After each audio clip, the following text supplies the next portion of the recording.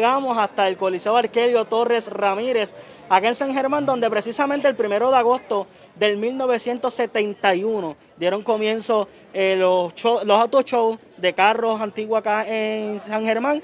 Y estoy con el pionero, con la persona eh, responsable de que eso haya sucedido y la persona responsable de que hoy estemos celebrando 50 años del Auto Show, y me refiero al amigo Alejandro Martínez Pavo. Buenas tardes, Alejandro. Me gustó eso que me dijiste el amigo, ¿sabes por qué? Porque todo el mundo me ha dicho el viejito.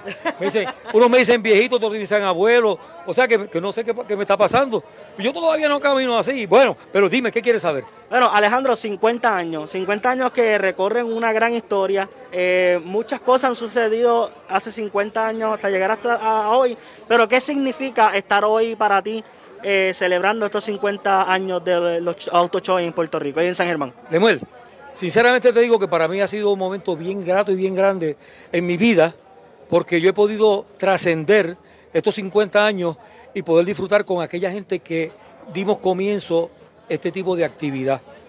Cuando comenzamos en el 71, éramos jóvenes y nos gustaba el vacilón de la cajera clandestina.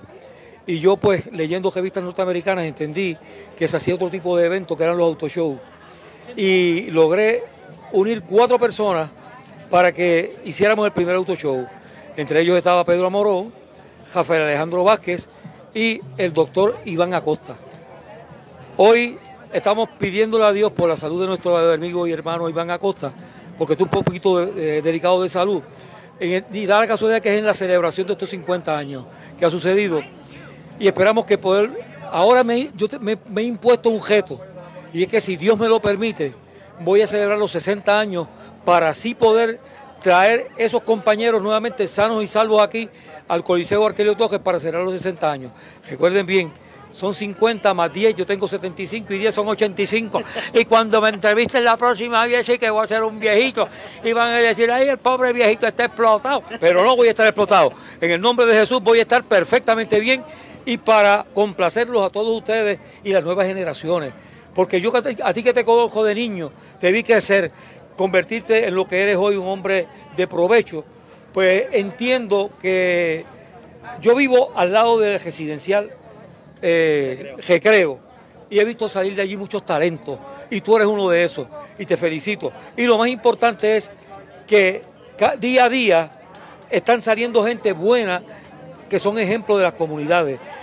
Y hoy yo sé que esto va a quedar hondo en los corazones de muchos jóvenes para que quieran hacer lo mismo que yo hago. Ahora mismo, mira, hay una cosa que está de moda que es el boceteo. Yo estoy pensando hacer una actividad de boceteo porque yo, yo creo que yo no soy tan viejo. Y me gusta esa música. Yo soy, a mí me gusta el reggaetón, a mí me gusta la plena, la bomba, la salsa, el merengue, todo tipo de música. El oído debe estar adaptado a escucharlo. ¿Qué pasa? Hoy por hoy lo que hemos es tenemos que dejar es un legado positivo a las próximas generaciones, ¿entiendes? Eso es lo que esa es mi idea. Mira, yo siempre he pensado que cuando yo llegue a ser viejito, como tú dices, yo, ¿tú dijiste que yo era viejito? No, no, no. No, no, Te, dije amigo, ya, ya. Ah, no, sí, otro que me ha dicho viejito y ya se me ha pegado eso. ¿Qué pasa? Ya está acostumbrado. Sí, sí, me he acostumbrado. Pues yo espero que un día yo sentarme con mis nietos, contarles todas mis anécdotas. Pero yo todas mis anécdotas siempre he tenido la curiosidad de patentizarlas y tenerlas escritas y fotografiadas. Porque puede llegar el momento que se me olvide algo y yo diga, pero abuelo, ¿y esto que está aquí? ¿Esto era mentira? Ah, eso fue verdad. O sea, porque es que por eso que uno, debe de guardar el recuerdo y a la misma vez eh, esos, momentos que tú pasas en tu vida, marcarlos positivamente para que tú en las próximas generaciones puedas, puedas demostrarlo. Y hablando de recuerdos, si usted se da cita hoy aquí al Coliseo del Kelio Torres Ramírez, podrá eh, adquirir este anuario. Este Alejandro, que quiero que me hables un poquito porque eh, es especial. tu hija es parte de fundamental para que esta, este anuario saliera? Habla un poquito sobre eso. Pues mira, mi hija logró hacer este, este, anuario recopilando, como yo te dije, todas mis anécdotas y mis cuentos que yo le he hecho a ellos y los plasmó aquí. Los plasmó en colores, porque yo quería que esto fuera a todo color, porque son 50 años y yo entiendo que la gente se merecen guardar un recuerdo, pero de, de lo que sucedió en aquella época a todo color. Y aquí está plasmado todo, de cuándo comenzaron, por qué se hicieron y lo más importante, que todos estos autoshows siempre se han hecho para beneficio de entidades sin fines de lucro, que es lo que yo me he esmerado en que esto, siempre sea. Y precisamente en estos 50 años, toda aquella persona que adquiera el anuario, pues se le va a estar donando, ¿verdad? Una parte al Centro Cotuí, Artesanías Cotuí, nuestra amiga Liduvina, que ya mismo vamos a estar hablando con ella. Este centro que lleva muchos años en San Germán y que recoge a todos aquellos jóvenes y personas, ¿verdad? Con discapacidades que puedan continuar estudiando y puedan tener un espacio para ellos poder también pasarla bien. Pero también tenemos la, camisa.